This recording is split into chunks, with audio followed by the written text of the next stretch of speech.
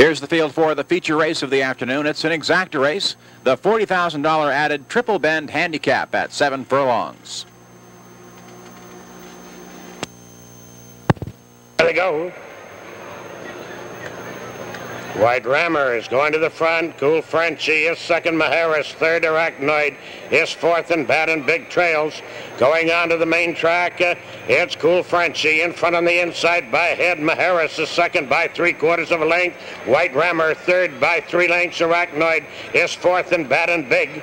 Down the back stretch, it's Cool Frenchie in front by head. Maharis is second by two lengths. White Rammer third uh, by two lengths. Arachnoid fourth by a neck. And Bad and Big on the inside.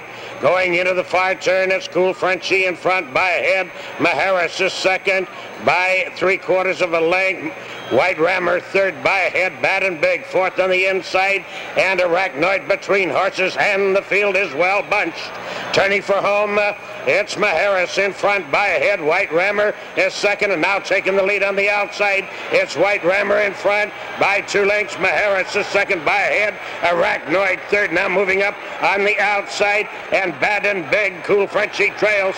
Now it's White Rammer in front by two lengths. Arachnoid is second by a length. Maharis third and Bad and Big on the rail. White Rammer in front uh, and Arachnoid and Bad and Big. White Rammer by two lengths and White Rammer is the winner by a length and a half. Arachnoid second by two with Bad and Big finishing third.